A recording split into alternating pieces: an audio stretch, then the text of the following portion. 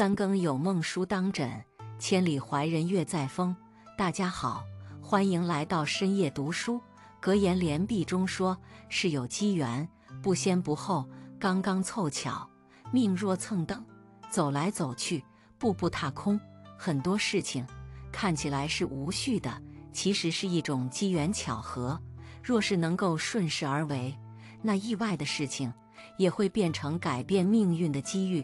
你总是害怕意外，机遇就错过了，做什么都不成功。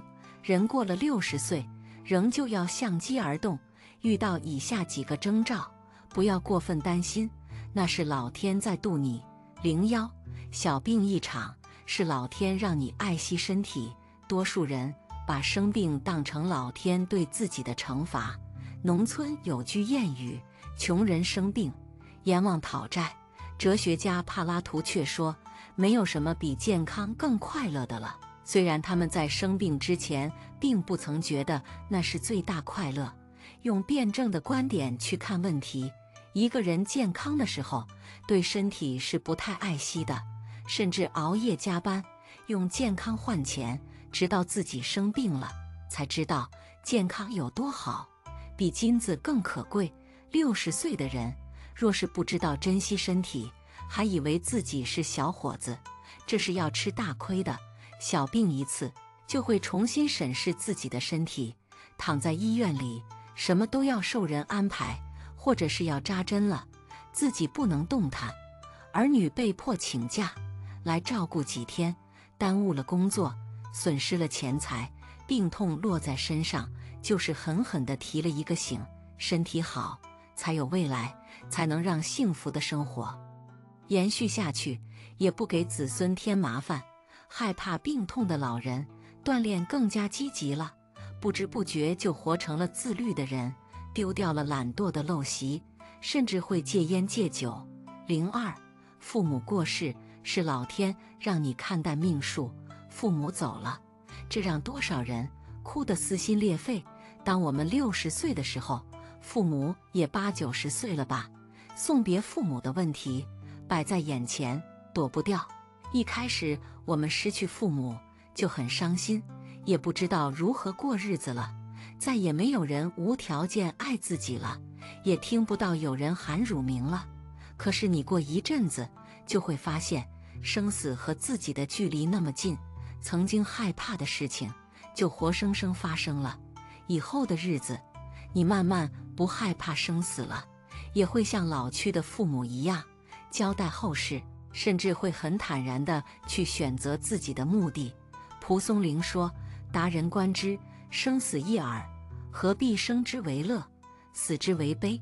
当你觉得自己时日不多的时候，安慰儿女，不要悲伤，要好好生活，这就是莫大的欣慰。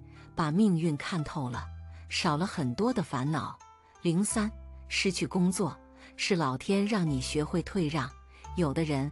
六十岁之后还会到处找工作，当然，他们碰壁的概率很高。人家要一个六十多岁的员工，这是有风险的，特别是一些工地，干的是体力活，万一老人有事发生，这就亏大了。按照安排，你六十岁的时候要退休，就算你不愿意，那又能怎么样？你总要让出位置给年轻人吧。折腾好几次。你明白了一个道理：长江后浪推前浪，前浪倒在沙滩上。你不折腾工作的时候，忽然发现自己也有了无事一身轻的喜悦。好好做爷爷奶奶吧，这就是最大的职位。走到人群里，有人喊你老头子，也是很顺耳的。当有人给你让座，也不会太尴尬，你心安理得地坐下来。更多是。你知道自己要做一个慈祥的老人了，积极发挥余热，也不要什么报酬，这是真正的老来乐。零四，儿女走远是老天让你牵手老伴。六十岁之后，儿女也成家立业了。一开始看到儿女远行，你是舍不得的。一家人少了几个常住的人，显得特别空荡。过年过节，儿女会来聚餐。但是相聚几日就匆匆离开，剩下的还是空荡的家。久而久之，你就发现，原来最好的日子就是一屋两人，三餐四季。你终于明白，少年夫妻老来伴到底是什么意义。曾经你嫌弃过枕边人，也和他吵架，甚至闹离婚，但是你现在开始珍惜老伴，彼此做保姆。人多的时候，你不会觉得老伴是依靠，唯有孤独的时候。才不得不靠依靠，也越来越希望靠一辈子。老伴是陪你最久的人，彼此善待就是留下一辈子的温情。零五被人遗忘，是老天让你回归平凡。刚刚离开职场，也有老同事来请教你问题，毕竟有的事情没有移交清楚，同事也没有你那么有经验。过一阵子，老同事不会来了。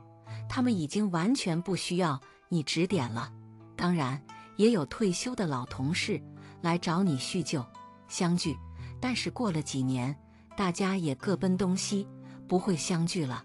很多亲戚朋友忘记了你的职位，不喊你某局长、科长，而是喊你的名字。也有一些年轻的邻居给你脸色看，丝毫不会把你当成什么老干部。你终于活成了社会上的一粒尘埃，但是你不难受，这是人生的回归。周国平说：“人生最低的境界是平凡，其次是超凡脱俗，最高是返璞归真的平凡。做普通人，光溜溜的来，赤条条的走，轻松自如。”明朝那些事儿里有一段话：“只有真正了解这个世界的丑陋与污浊，被现实打击。”被痛苦折磨，遍体鳞伤，无所遁形，却从未放弃对光明的追寻，依旧微笑着，坚定前行的人，才是真正的勇者。所有让你难受的，都是给你最好的提醒，让你领悟某种道理。若是你一直顺顺利利，反而会变成贪得无厌的人，会狂妄自大，弄丢自己。不顺的。其实是老天安排的，是让你在六十岁之后顺着拐点往前走，不要一根筋，走直线。岁月有了春夏秋冬，才美不胜收；人生有了跌宕起伏，才精彩纷呈。人生的旅程中，需历经八苦：生、老、病、死、求不得、怨憎会、爱别离、五阴盛。待到一定年岁，方才知晓，人若有病、有苦、有穷、有失，表面看似不佳，实则是老天开始度化的征兆。灵妖患病，方知身体最为珍贵。学生时期，父母期望我努力学习，日后能有个好工作，出人头地。当我真正步入工作岗位后，父母却转而劝我。不要过于拼命，健康才是重中之重。我曾对父母说，自己能力有限，难以赚取更多钱财。父母则回应我，健康平安便是最好。随着年龄的增长，我愈发深刻地领悟到健康的重要性。身体健康意味着能安然入眠，饮食正常，尽情玩乐；而失去健康，则意味着身体遭受疼痛。内心疲惫不堪，许多事情无法去做，许多地方无法前往。失去健康，还意味着将失去尊严。当你处处需要金钱来维系健康，处处需要家人朋友贴身照料时，你便会体会到什么是卑微、无能为力、绝望和不甘。老天爷让你生一场病，是为了告诉你健康的重要性。让你及早爱护自己的身体，切莫等到失去健康时才追悔莫及。生、老、病、死的自然法则，只会让我们心生敬畏，辛勤耕耘数十载。无论成就大小，财富多寡，都不过是过眼云烟。唯有保持健康，才是真正的财富与幸福。零二，受苦方能了却苦厄。佛陀曾言，人生有八种苦难，包括生、老、病、死、怨憎会、爱别离、求不得、五阴炽盛。这些苦难既有身体上的痛苦，也有心理上的困扰，既有先天带来的，也有后天遭遇的。曾国藩说：“唯有经历世间最艰辛的苦难，方能成为世间最杰出的人物。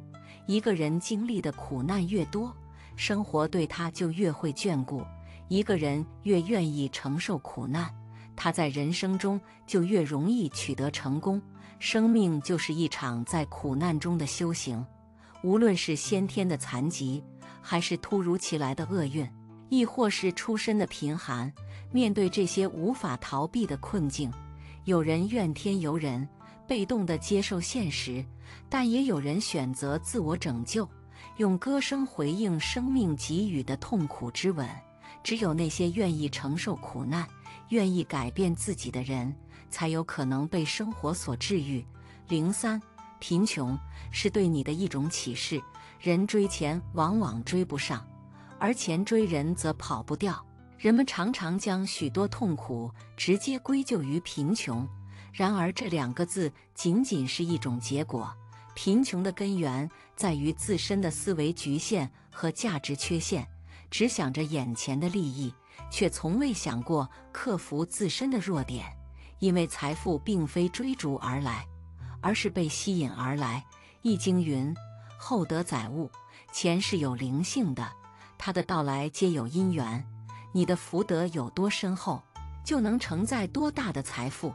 你只需修好自己的德性，其余该来的，迟早都会到来。零四，失去才会懂得珍惜。《大话西游》中有句经典台词。曾经有一份真诚的爱情放在我面前，我没有珍惜，等我失去的时候才后悔莫及。人世间最痛苦的事莫过于此。总有人在回首往事时感慨：那个曾经对我那么好的人，怎么就被我弄丢了？那个曾经把我看得那么重要的人，怎么就选择离开了？有时我们总是懊悔不已，但当真正明白时，才知道。所有的离开都是蓄谋已久，因为你不知道对方积攒了多少失望，多少伤心与难过。不懂珍惜，就不配拥有。再好的东西，再好的人，若不懂得珍惜，永远都不会真正属于你。在这个世界上，对于那些你所享受的美好，都要心怀感恩。无论是珍惜一个人，还是珍惜一件物品，你都要明白。只有珍惜，才有意义，才是坚持下去的理由。这是痛苦所带来的感悟。每个人的一生都曾遭遇过难以承受的至暗时刻，都要接受生命的无常。无论你现在的生活多么艰难，你都要相信，当你身处低谷时，皆是上天给予你的转机，是上天在默默帮助你，让你警醒、坚强并成长。故曰：艰辛并非真正的艰辛，快乐亦非纯粹的快乐，皆是上天的恩赐。老天要带走一个人，也会给出一些信号，暗示气数将尽。顺天者安逸，逆天者徒劳。不论我们是否接受，都需要顺着天意去做人。老天爷让人兴盛，那他就发家致富了；老天爷让人灭亡，那他就走下坡路了。兴衰成败，看似由人力所影响，实际上由天意所影响。一个普通人连自己是否失业都无法保证，那他又能改变什么呢？所谓冯唐易老，李广难封。冯唐因为生不逢时，遗憾而终；李广因为运气不行，迷失了方向，愤而拔刀自刎。不是冯唐不厉害，只是他生不逢时。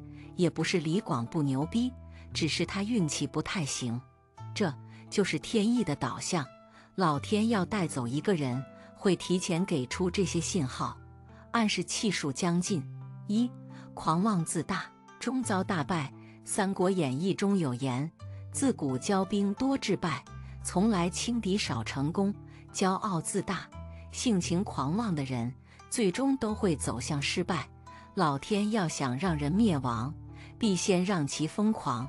你看武圣关羽，文武双全，所率领的荆州军团实力强悍，应该说是稳如泰山的。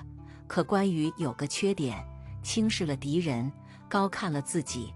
孙权派人跟关羽讲亲，希望关羽的女儿嫁给自己的儿子。关羽大怒，认为孙权不过是一鼠辈，虎女焉能嫁犬子？得罪了孙权。恰逢曹魏对荆州用兵，孙权也跟曹魏打配合，趁着关羽北拒曹魏的时候，派吕蒙一袭白衣渡江，被刺关羽，导致了关羽败走麦城，身死东吴之手。没有东和孙权，这是关羽兵败的根源。为什么不东和孙权？因为关羽看不起孙权，所以关羽要为自己的狂妄自大付出生命的代价。别忘了，天狂必有雨，人狂必有祸。二德不配财，小命难保。老子在《道德经》中说过：“金玉满堂，莫之能守；富贵而骄，自遗其咎。”意思是金银珠宝摆满了整间屋子，没有本事的人也守不住。因为富贵而过分骄狂，就容易自惹其祸，遭遇不幸。金钱。富贵，这都是好东西，可对于没有德行、能力的人来说，那就是催命符。你有能力坐上了这个高位，那你自然可以获益满满；反之，你没有能力却拥有了这个高位，迟早会被人取代，下场不太好。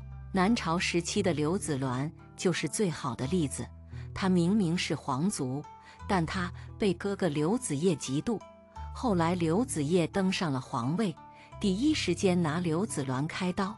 这刘子鸾说了一句流传至今的千古名言：“愿不负生在帝王家，德性、能力配得上所拥有的一切，才算吉利；否则，两者失衡，不幸将至。”三匆匆而来，匆匆而去。曾仕强教授说过：“做什么事都慢一点。”要是一天就做三天的事，那明明活九十岁，最后就只能活三十岁了。不同的选择决定了不同的命运。匆匆而来，自然就会对应匆匆而去；缓缓而来，自然就会对应缓缓而去。可见，太快了不是什么好事。就跟修房子是一样的，花点时间搞好地基，有利于房子的建设和安稳。要是一味求快，连地基都不打好就修房子，那房子很快就会出问题。对于匆匆而来，我们可以理解为热烈如火，火焰剧烈燃烧，光芒愈发强烈。可过了一段时间，火焰就熄灭了，毫无踪影。对于缓缓而来，我们可以理解为细水长流，溪水缓缓流动，不论遭遇什么。都保持原有的速度前进，不急不躁，恰恰是不急不躁的水，比烈火要长久。莫要求快，而应该放慢脚步。与其快速消耗生命，不如细水长流，让生命之源长久。四、环境碾压，不幸将至。如果说上边那三点都跟人本身有关，那第四点就跟客观环境有关了。谈到客观环境，就不得不提到一句话：人无法改变现实，就只能接受现实。比如说，单位裁员，不幸裁员到了你的身上，那你无法改变被裁员的现实，就只能默默接受，另谋出路。失业还算是小问题，要是碰到天灾人祸，那才是大问题。大家都在街上散步，别人都没事，就他被车撞了。遗憾而终，这不就是人生无常吗？偏偏这无常会降临到倒霉的人身上。人之小气运，终究无法抵抗环境的大气运。说的文学化一点，时代的一粒沙落在普通人的身上，就是一座山。大环境的天灾人祸，不是人力所能抵御的。所有的小概率事件发生在某个人身上。那对于这个人来说，就是妥妥的灭顶之灾。老天要带走一个人时，会给出一些信号，暗示气数将近。我们应顺天而为，因为兴衰成败看似由人力影响，实则由天意决定。普通人难以掌控自身命运，如冯唐生不逢时，李广运气不佳，接受天意导向。感谢你看到这里，喜欢的话不要忘记点赞和开启小铃铛，你的鼓励是我最大的支持。